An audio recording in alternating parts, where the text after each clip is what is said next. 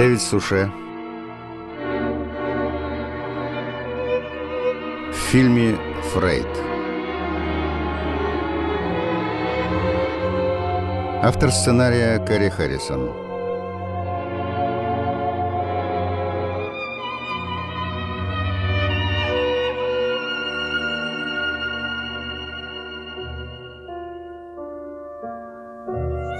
Часть четвертая.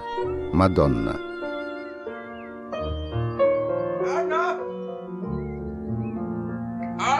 Анна! Ты где? Анна? Я здесь. Что случилось? Звонят в дверь. Ты не слышишь? Нет. Я открою.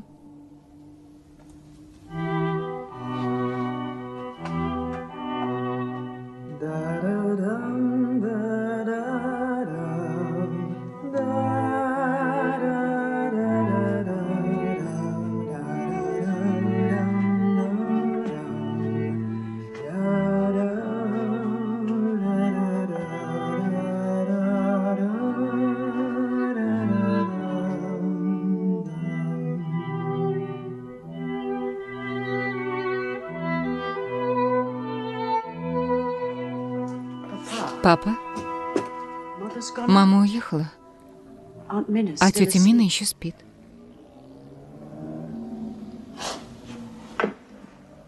Плохо себя чувствует. Врачи говорят, ей нужна еще одна операция на глазах. Идем.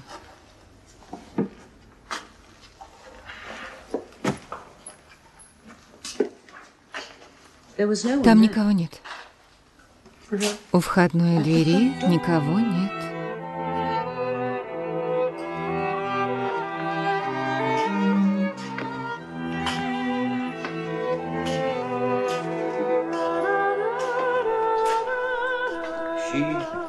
Она была как амазонка.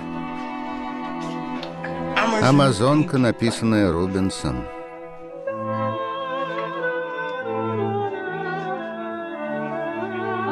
Марти, я приехала. Ты слышишь? Я приехала. Марти? Мина? Марти? Мы ждали тебя завтра.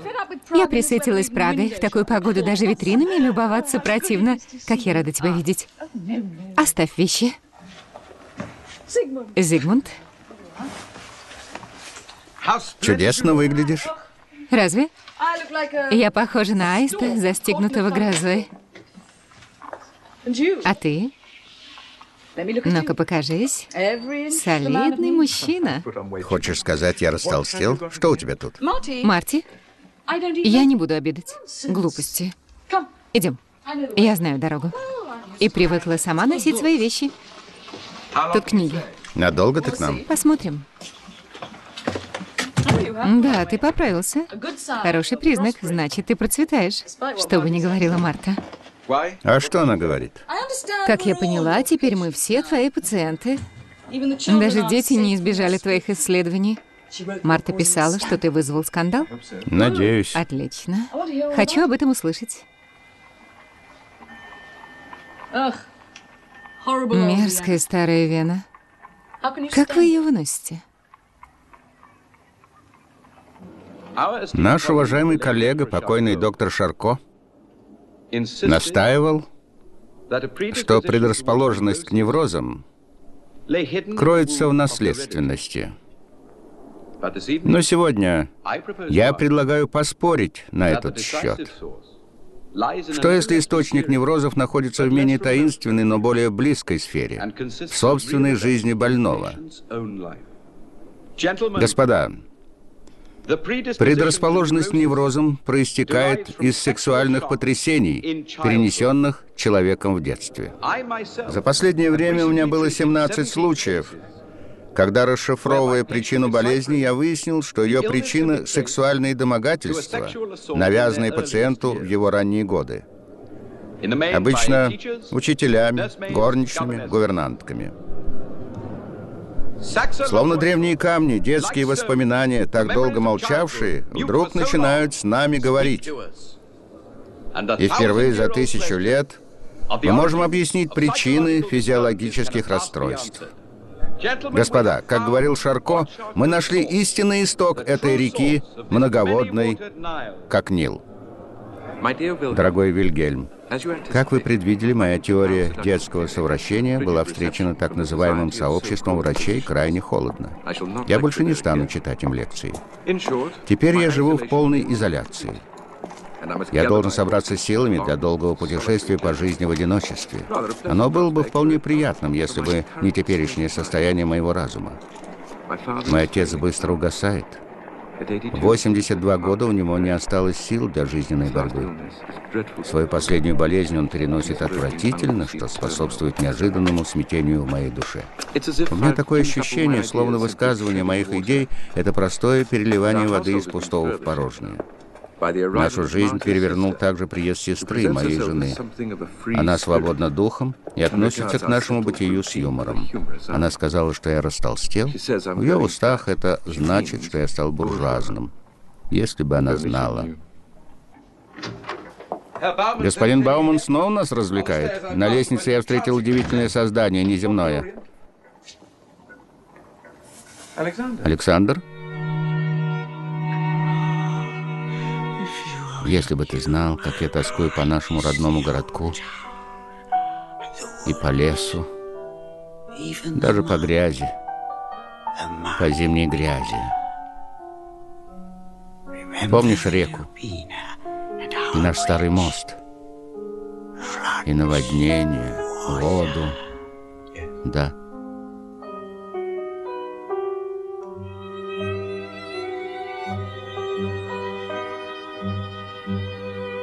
Обещай мне, что станешь профессором. Пусть даже для этого тебе придется склонить голову. Что бы это ни значило.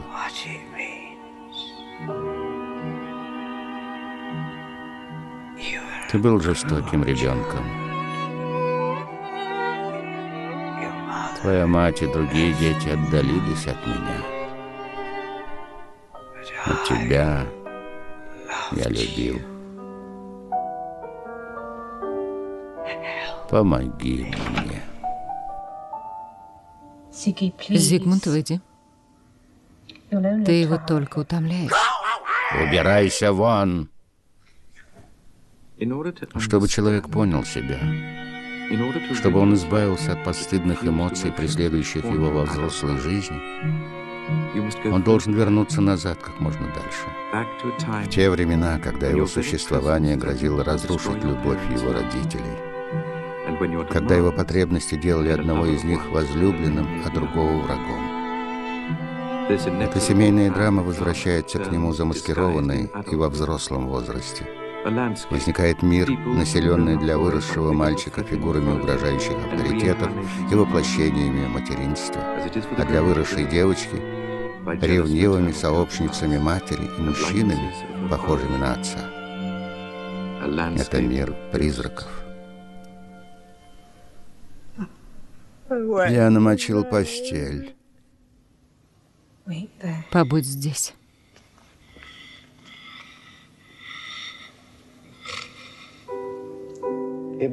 Я тогда впервые услышал, как мои родители кричат друг на друга. Я пришел в их спальню поздно ночью. Отец велел мне вернуться в постель. Когда я услышал из своей комнаты их крики, я почувствовал странное возбуждение. Смесь страха, удовольствия, волнения и ужаса.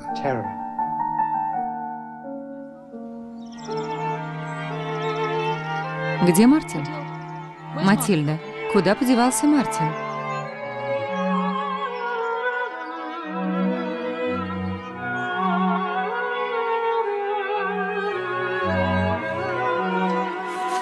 Я не вижу Мартина. Он там. Мина, оставь Матильду. Она обещала за ним следить. К нему пойду я.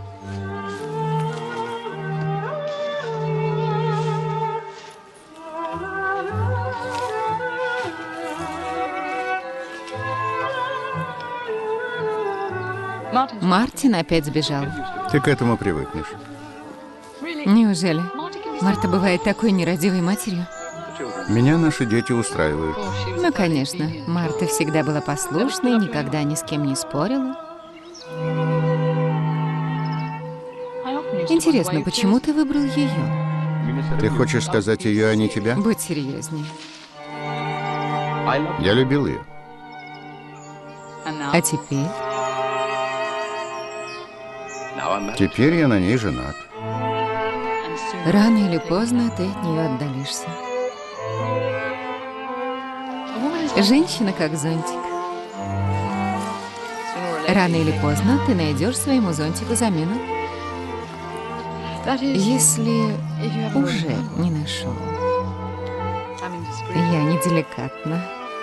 Но ты так мало мне рассказываешь.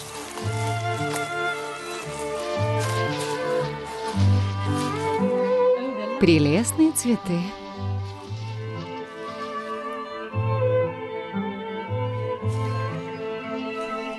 Положи их туда вместе с остальными. Пусть ими любуются все.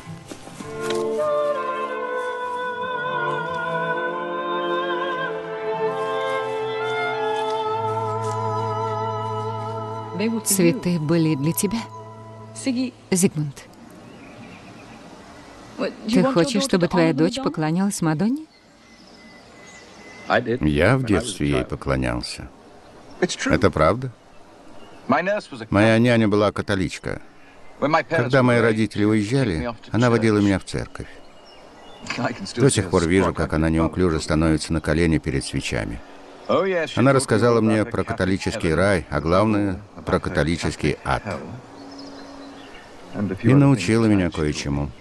Серьезно? Потом ее уволили за воровство. Я узнал об этом только недавно. Ее звали Тереза. Я вспоминаю все больше подробностей моего детства. В том числе и то, чему учила тебя няня? Она вселила в меня честолюбие. Она говорила, что я стану великим человеком, а с другой стороны, заставляла меня чувствовать себя неловким в разных сферах. И ты все это помнишь? Воспоминания возвращаются. Я начинаю думать, что сны состоят из того, что мы видели в детстве, что фантазии произрастают из того, что мы слышали, а невротическое поведение сексуального насилия. Я все больше в этом уверяюсь. Но, может быть, все это чепуха? Что скажешь? Я? Хочу знать твое искреннее мнение. Мое искреннее мнение не стоит ни гроша.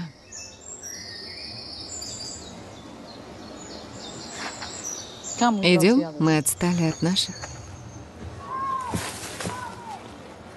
Я хочу понять то, что ты сейчас говорил о Марте. Да. Для меня очень важно иметь человека, который возвращал бы меня к мирской жизни. Очень важно. Она центр моего существования. Она говорит, что скоро поедет в Гамбург недели на две. Зачем? Зачем сейчас? Накануне похорон твоего отца. Это странно. Ничего странного. Ваша мать больна. Она с ней давно не виделась. Кроме того, меня сейчас нелегко утешить. И утешение мне ни к чему. Кроме того, ты должна понять, некоторые аспекты моего брака полностью исчерпаны. Исчерпаны. Странное слово. Нет, наиболее подходящее. Отношения исчерпаны. Обязанности выполнены обеими сторонами к взаимному удовлетворению. Человек вполне может примириться со своей сексуальностью. Мне кажется, ты со мной согласишься.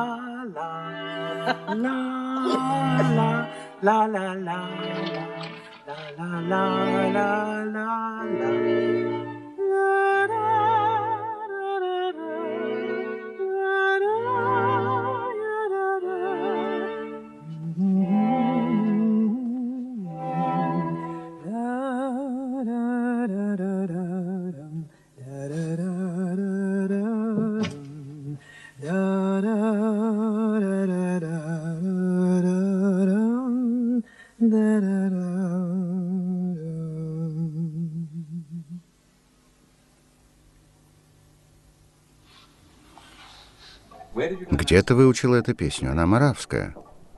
Правда? Наверное, я слышала ее, когда была гувернанткой. В Бруне. Ты закончил работу?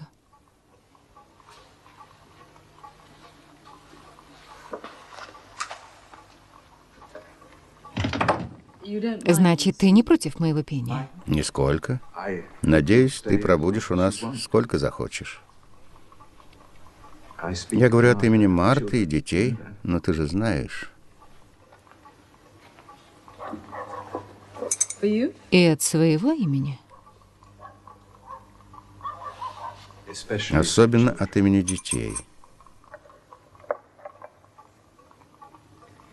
У всех лучших людей было по две матери. Кроме родной, не менее любящая и влиятельная приемная мать. Например, у Леонардо, у Эдипа и у меня. Что ты делаешь?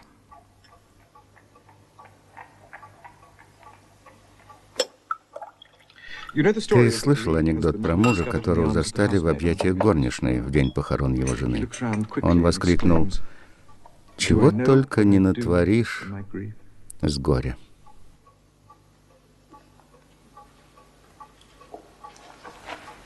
Ты ощущаешь горе? Нет.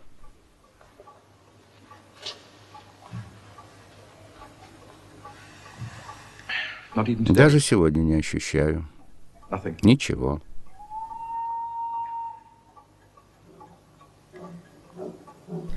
Долгое время я ощущал только нетерпение и презрение. Да, презрение к отцу. Никакого горя. Но у меня такое чувство, будто меня выдернули из земли с корнем. Перевернулась вся моя жизнь не только из-за потери отца. Внутри меня словно образуется пустота, профессиональная, личная. Мне не с кем поговорить, кроме тебя и Флиса. И то только когда ты не протестуешь против моих бесстыдных идей. Правда, я не верю в твои протесты. Мне кажется, тебя трудно шокировать. Ты так считаешь? Мои лучшие воспоминания об отце из детства. Он водил меня в горы, в леса. Хорошее было время. Но мое детство прошло необычно во многих смыслах. Только сейчас все становится на свои места. Мой отец по возрасту годился мне в дедушке. Его старшие сыновья были ровесниками моей маме, а их дети — ровесниками мне. Представляешь, что это значит? Она могла быть моей сестрой. Твоя мать? Она была ровесницей моих братьев от первого брака отца. Я играл с племянником и племянницей моими ровесниками. Запутанный мир. Я, конечно, чувствовал себя его центром, точкой притяжения среди всех этих этикеток, перепутанных местами. Отец, мать, братья, племянница, племянник. Каждый был слишком молод или слишком стар для своего статуса в моей жизни. Но я держал их всех на своей орбите. С тех пор, как я стал изучать бессознательное, я стал бесконечно интересен сам себе. Какое влияние оказала на тебя эта запутанность мира? Ты сказал, что твоя мать могла бы быть твоей сестрой. Забавно. Мне всегда казалось, что ты побаиваешься свою мать. Возможно. Она вселяет страх? Почему ты так решил? Потому как ты говорил с ней во время наших воскресных обедов. Перед ними у тебя всегда болел живот. Потому что я знал, как плохо мама готовит. И потому что ты знал, что она захочет услышать о твоих новых, славных свершениях. Ведь твоя няня обещала тебе славу. Любой сын для мамы неудачник, если он не профессор. Вот как? Но когда я стану профессором, мама все равно будет плохо готовить. Так что нечего стараться. А что нужно, чтобы стать профессором? Чтобы стать профессором, надо быть популярным и солидным. Тогда, если весь факультет за тебя проголосует, министерство подаст прошение на подпись императору. Если ты не еврей с неприличными идеями, император его подпишет, и ты станешь богат. Это для тебя так важно?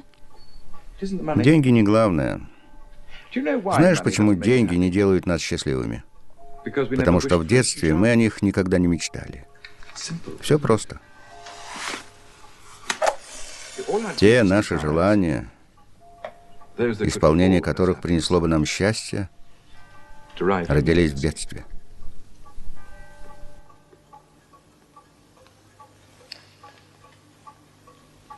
Если деньги не главное, может быть, важна слава? Ведь ее ты желал в детстве. Меня научили ее желать. Да, я подам прошение на звание профессора. Буду подавать снова и снова, если мое здоровье это выдержит. Есть анекдот. Старый еврей едет поездом в Карлсбад, но его вышвыривают на каждой станции, потому что он едет без билета. У него спрашивают, куда вы едете? Он отвечает, в Карлсбад, если мое здоровье выдержит. Понимаешь, мой билет — это переход в христианство. Я могу присоединиться к тем, кто чтит крест, как твой дядя. Я слышал, Маллер подумывает о крещении, чтобы возглавить оперный театр, но я лучше буду голодать, чем склонюсь перед римской церковью. Мне кажется, у тебя есть склонность к мученичеству. Подходящее качество. Для христианина? Ты так считаешь? Для Христа, безусловно, но это другое. Да, я боюсь бедности. С детства. Как дикие лошади пампасов боятся лосо. Помню, я читал о них ребенком. Однажды, ощутив на своей шее веревку, они боятся ее всю жизнь. Я надеялся, что мое последнее открытие, моя теория совращения сделает мне имя. Ничего подобного. Даже мои больные ее боятся, а самоанализ вряд ли принесет прибыль. Один мой пациент, банкир с сильным неврозом, Сбежал от меня, как только начал переживать роковые сцены из прошлого. Крайне трудно полностью восстановить картину детской сексуальности с помощью неохотно говорящих о ней взрослых.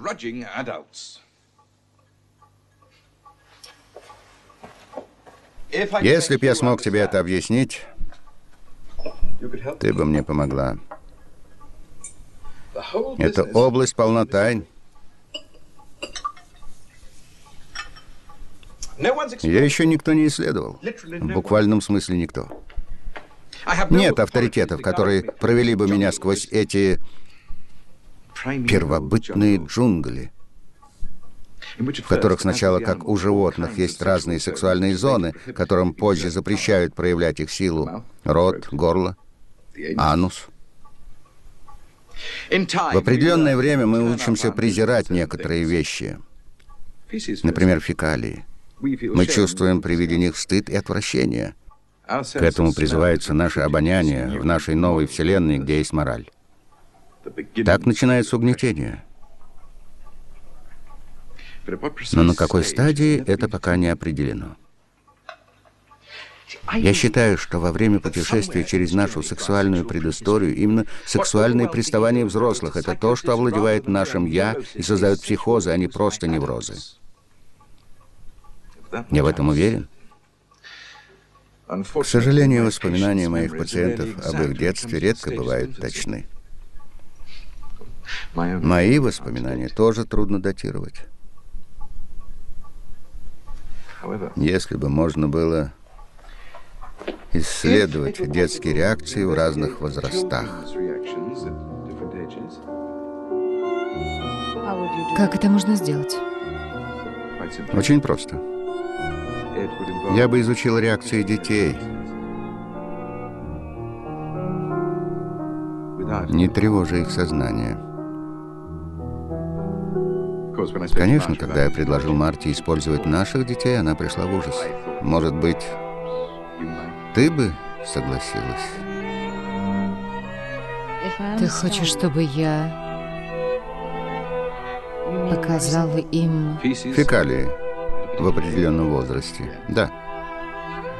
Я бы наблюдал их реакцию.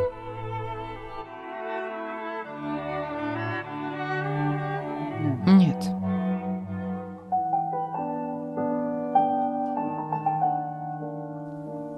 Пока я здесь... Нет. Раз так, мне придется вспоминать мое детство. Используя собственное вдохновение. Придется вспоминать.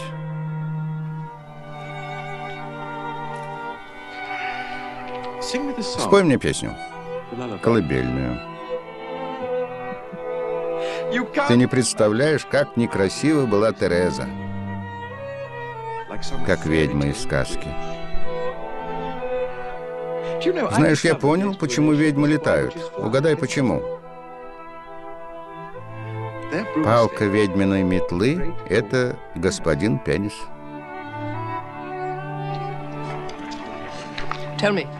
Скажите, ваша жена жалуется, когда вы уезжаете на конгрессы? Нисколько. А что? Ваша жалуется? Да. Немного. У вас усталый вид. Вам надо отдохнуть вдали от семьи, поехать в Италию. Я сразу выздоравливал среди ее дивных пейзажей. Не хочу в Италию. Как вам угодно.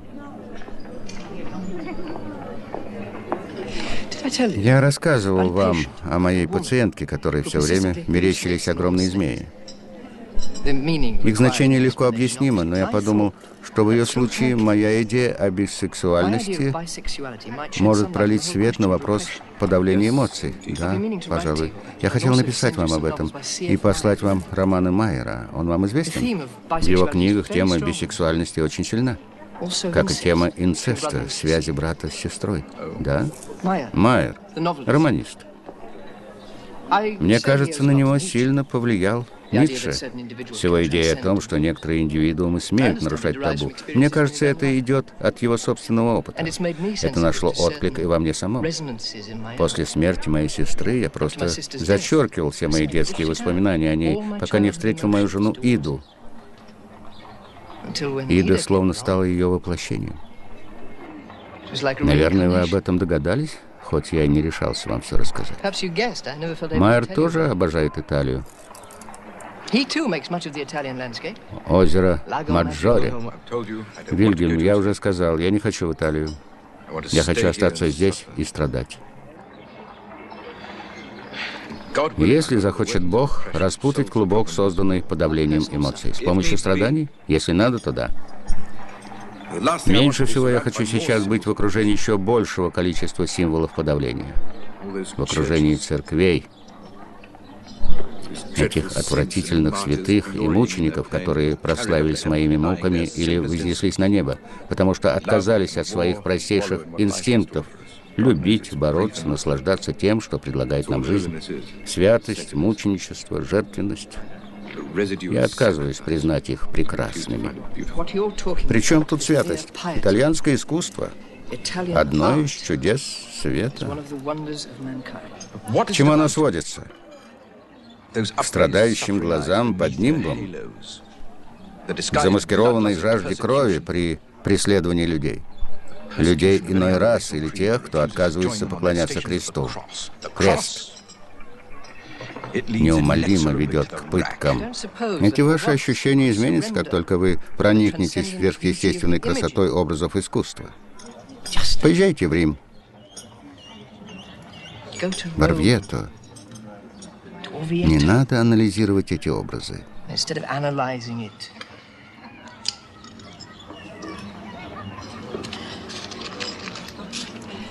Мне кажется,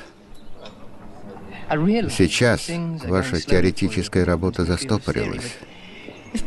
Или у вас мало пациентов. И с fine. теорией, и с пациентами. У меня все в порядке. Все прекрасно. Доктор, мне пришла в голову одна мысль. после нашей последней встречи, когда мы говорили о моих детских снах, о черном человеке, за которым я гонялся по странной местности и которого никогда не мог поймать. Эта мысль пришла мне в голову, когда мы обсуждали, как моя мать долго не могла решиться на второй брак, и как я сам с трудом принимал важные решения. Так вот, мне кажется, я теперь понял связь. Мне казалось, что черного человека зовут Кафир. Но как только я увидел связь, я понял, что имя Кафир — это на самом деле фраза «кефер», что по-французски означает «что делать?». «Моя няня была француженка, можно сказать, первая любовь. Она вас соблазнила, верно? Вы имеете в виду физически?» Я видела, как он обращается с моими братьями. Физически.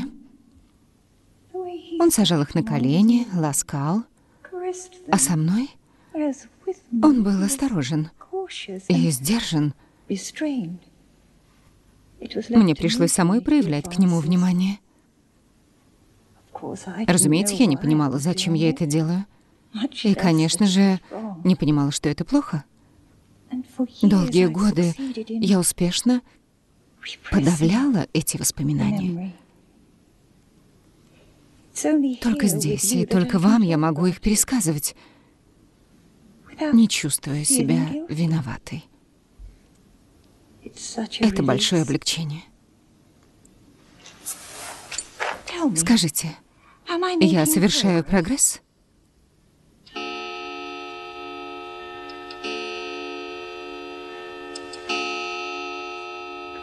Марти легла спать.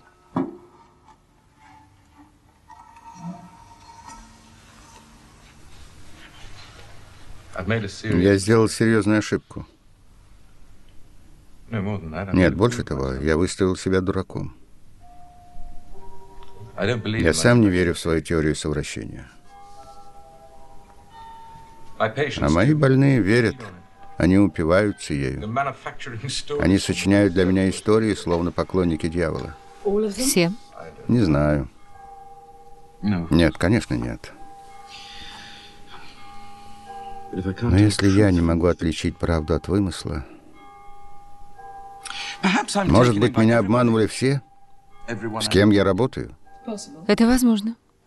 Ты врач, но на удивление плохо разбираешься в людях. Да.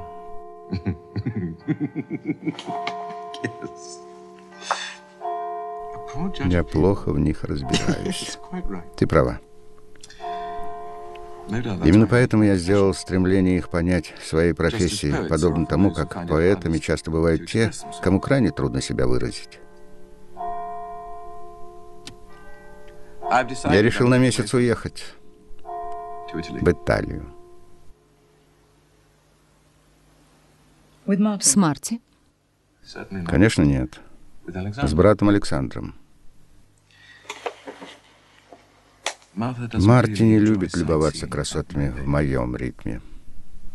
А в Александре хорошо то, что, будучи железнодорожным служащим, он четко соблюдает расписание. Спасибо тебе за то, что ты была со мной жесткой. Я имею в виду твой отзыв о моей работе. Но теория совращения абсолютно правильна. Я просто так устал, что не верю своим собственным идеям.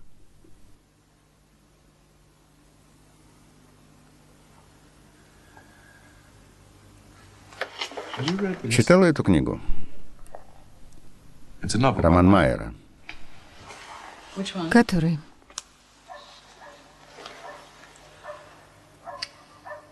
Да, этот мне известен.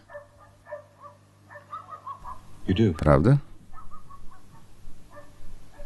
Он замечательный, захватывающий сюжет. А куда именно ты едешь? На озеро Маджора? Uh, no, Скорее всего, в Рим, не знаю, я еще не решил. Кстати, о Риме. Я подал прошение на звание профессора. В Риме я буду в окружении Мадонн. Я стану говорить себе, что в конце концов Мадонна относилась к нашей расе. Она была еврейской девственницей, как и ты.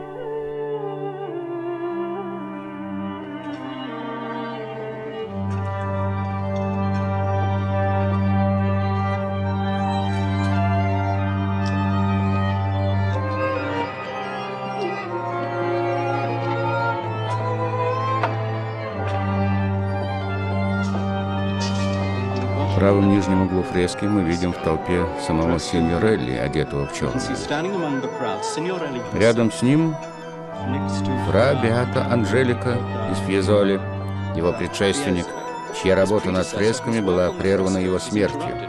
Странно было бы, если бы смерть ее не прервала. На следующей фреске изображен Антихрист, совершающий свои ложные чудеса.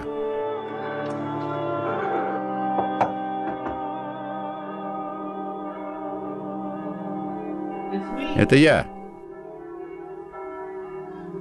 Входи.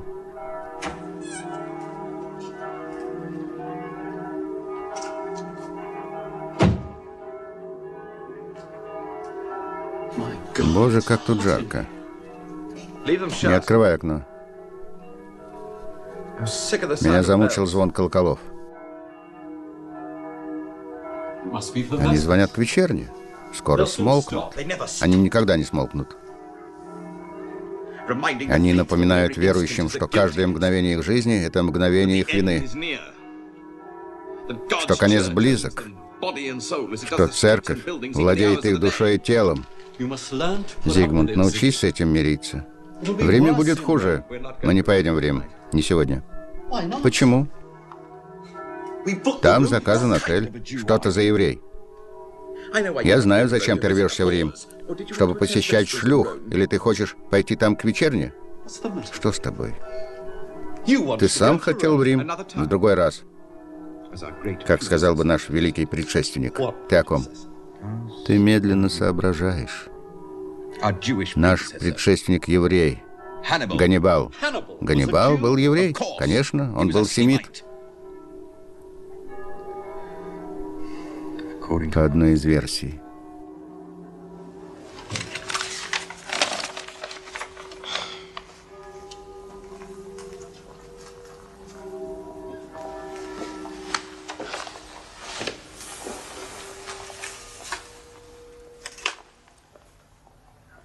Когда папа умирал, он говорил только о Фрайбурге, о его красоте, о горах, о лесах, даже о грязи. Но я при этом вспоминал о том, как однажды добрый христианин сбил с отца шляпу. Мы шли по дороге. Какой-то человек плюнул в отца и сбросил с него шляпу. В грязь. Знаешь, что сделал отец? Я ясно это вижу. Он весь съежился. Потом пошел за шляпой, поднял ее, вытер. И вернулся ко мне, съежившийся еврей.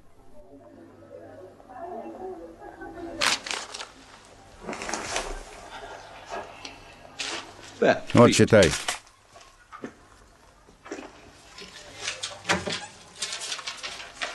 Мне отказали в звании профессора.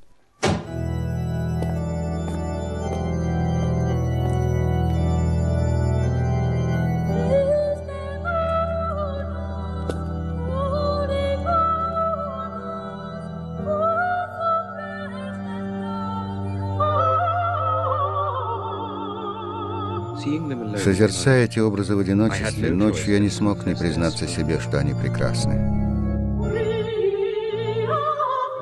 Но, дорогой Вильгельм, в этих образах нет ничего сверхъестественного, ничего чистого или абстрактного, ничего.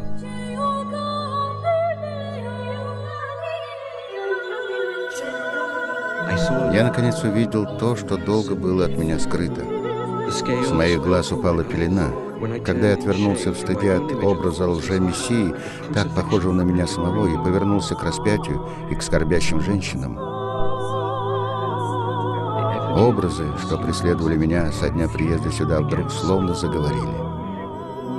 Мадонна с младенцем, кормящая Богоматерь, обнажившая грудь, у которой встретились два людских желания, похоть и голод. Это языческие образы, Вильгельм. Не христианские иконы, а языческие образы, сохранившиеся в веках, как некий бесстыдный кот. Страсть к матери. Всеобщее стремление к матери.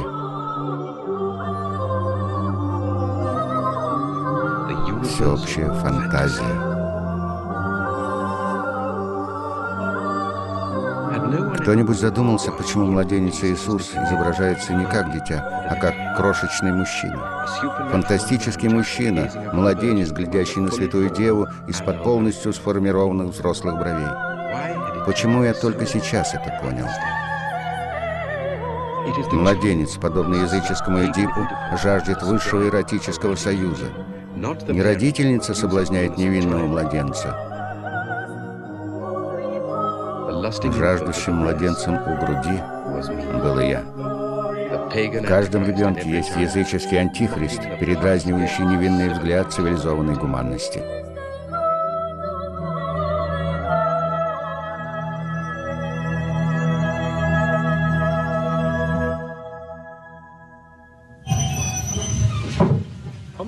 Пути домой из Италии, кажется, в Бреслау, я увидел газовые фонари на станции и вспомнил другую поездку — Наш переезд из Фрайбурга в Вену. Мне тогда едва исполнилось четыре года. Я впервые увидел такие фонари, поскольку рассказы моей няни Терезы были еще живы в моем сознании. При виде фонарей я стал думать о душах, горящих в аду. Во время переезда я к тому же впервые увидел мою мать обнаженной. И, как я теперь понимаю, возжелал ее. Она возилась с маленьким Джулиусом, моим братом. Бедный ребенок, как я его ненавидел.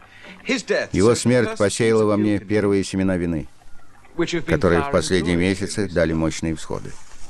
Когда мы доехали до Берлина, я был в сильном возбуждении, как можно представить. Я даже смутил Флиса рассказом о маленьком Джулиусе, моем сопернике в детстве. Я обрушил на Флиса свою краткую исповедь, но он придет в себя. Жаль, вас обеих не было со мной в Италии. Городок Арвета стал моей дорогой к истине. Я чувствую себя как тот, кто придумал новую религию. Это произведение трусков, погребальные дары. Семейный портрет в терракоте. Нравится? Они прекрасны. И относительно недороги. Милый, прости, мне пора купать детей. Не уходи.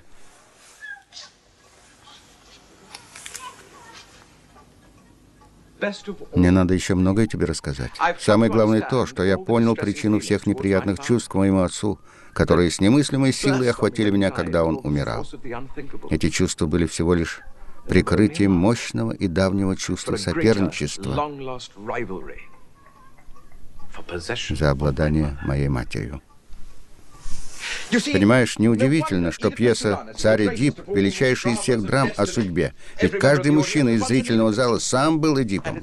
Эта драма изображена по всему Средиземноморью, на каждой улице, в каждом здании, где есть образ Царицы Небесной, которая нянчит своего сына. Представь, как я себя почувствовал в Италии, когда впервые сбросил со своих глаз пелену банальности и восприятия. Я сбросил ее не зря.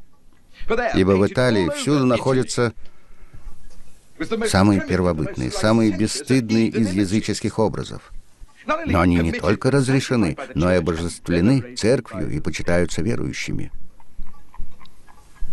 Это настолько явно, что может ускользнуть от глаз. Спрятать вещь лучше всего, оставив ее на виду. Сами христианские церкви часто построены на руинах языческих храмов. Церковь Марии на храме Мины, то есть Минервы. Есть в Риме такая церковь. А я уж думала, что им не был посвящен храм. Я оговорился. Я произнес твое имя вместо имени богини мудрости. Я иду.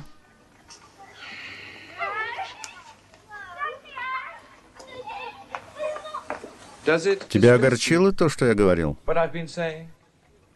Для тебя это не страшно? А меня, как мать, твои идеи ужасают. Извини. С этим ничего не поделаешь, Марти. Как не ужасайся.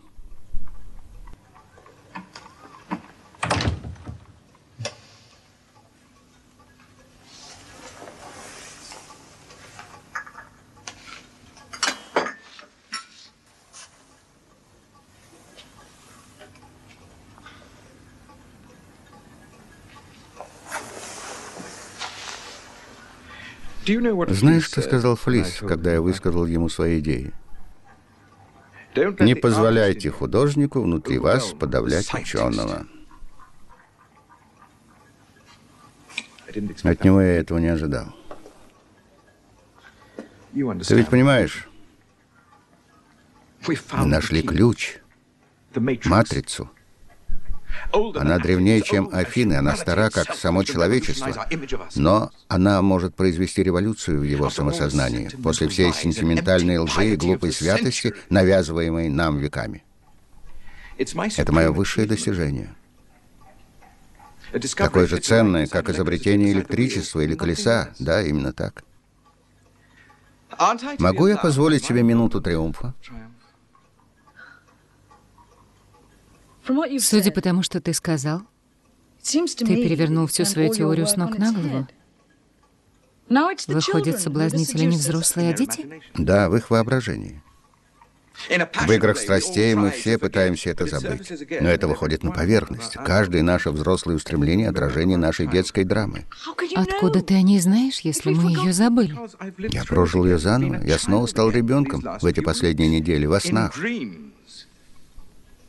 И во снах, наяву, увидев детских соперников в моих лучших друзьях, вспомнив детские влюбленности. Ты говоришь о своих чувствах так, словно описываешь случай очередного больного. Это случай общий для всех. Я с удивлением обнаружил, насколько тщательно человек скрывает по-настоящему интимные вещи от себя так же, как от других. Со всеми происходит одно и то же. По мере взросления мы становимся чуждыми самим себе и тому, что мы научились считать извращениями, естественным действием, инцесту, садомии, убийству. Ты объявишь миру, что они естественны?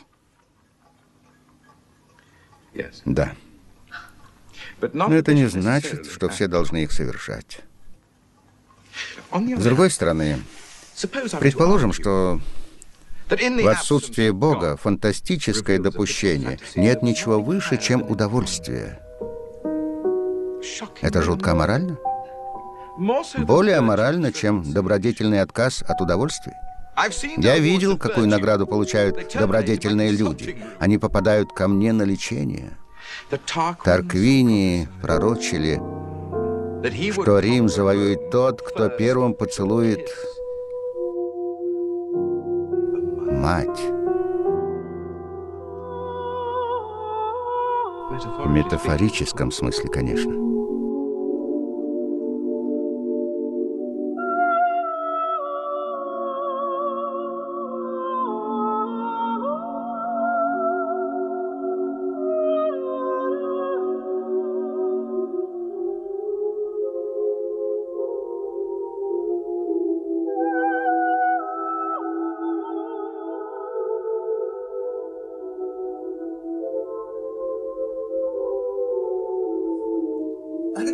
Мне вчера снился сон.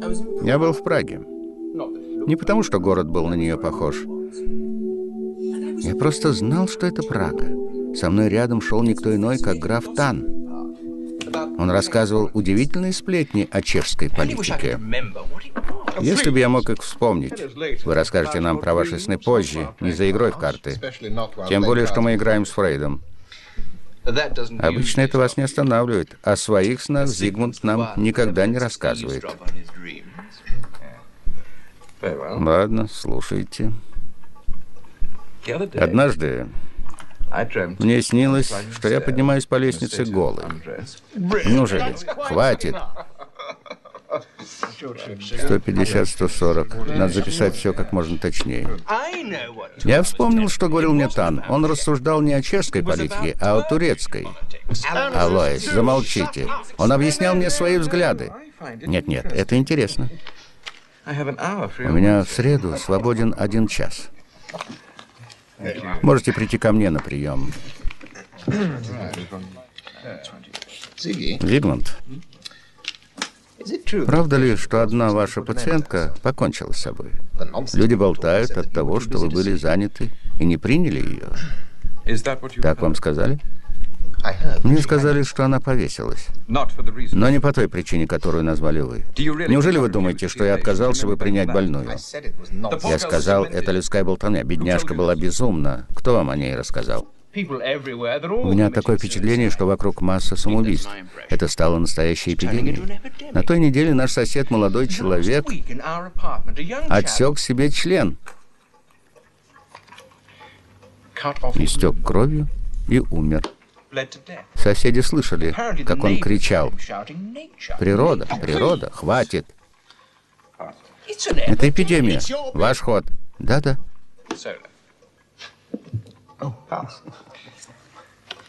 Вы знаете, когда я был в Турции, меня там поразило необычное отношение к смерти. Турки, как мне кажется, к ней совершенно равнодушны после определенного возраста. Для них важно одно – половая жизнь. Не может быть. Это правда? Как только активная половая жизнь кончается, турок начинает считать, что дни его сочтены. Кстати, вы читали отзывы о книге Флисса? О той, которую я назвал «Новой кабалой»? Мне кажется, его дни сочтены. А книгу вы читали? Я ее просмотрел. Ее поймет только математик. Или черный маг. Сплошная нумерология. Надо иметь половую близость раз в 23 дня. Чаще, если человек левша. Осталось приписать к этой книге эпиграф из Фауста.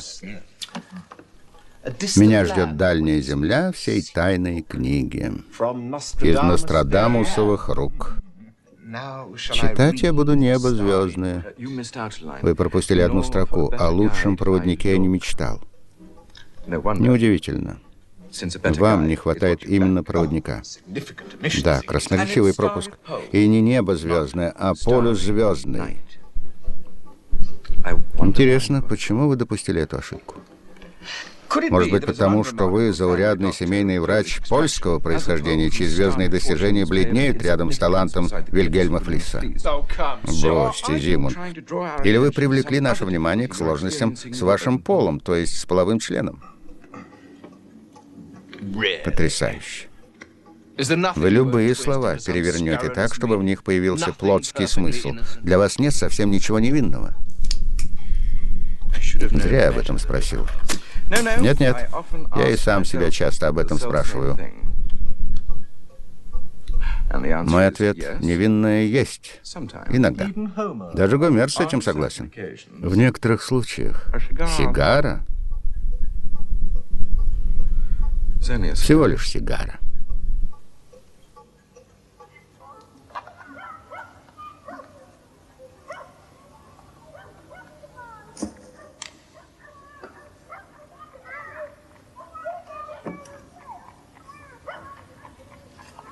Марти, едем со мной? Ты же знаешь, я не могу. Можешь. Мы будем осматривать красоты так медленно, как ты захочешь. Не больше двух музеев в день. И один собор. Александр клянется, что больше никуда со мной не поедет, если я не подпишу обязательство не пропускать поезда, на которые уже взяты билеты. Мы с ним не годимся друг другу в попутчике.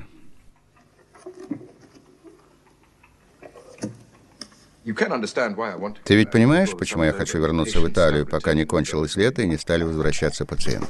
Конечно. Поезжай.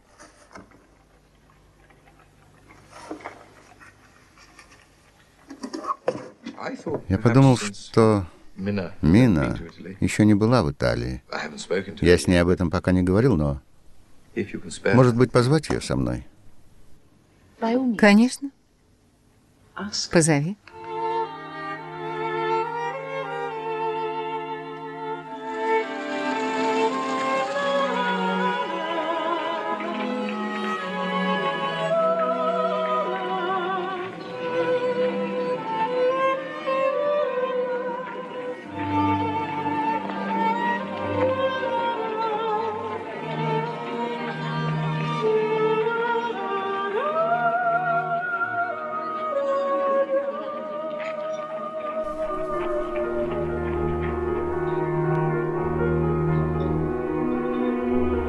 Фильме снимались Дэвид Суше, Хелен Бурн, Сюзан Бертиш, Дэвид Свифт, Антон Лессер, Хуарт Курни, Элиза Хант, Фрэнк Бейкер, Гордон Рид и другие. Производство BBC совместно с компанией Hearst ABC RCTV. Композитор Илона Секач, оператор Элмер Косси, продюсер Джон Перди, режиссер Мойра Армстронг.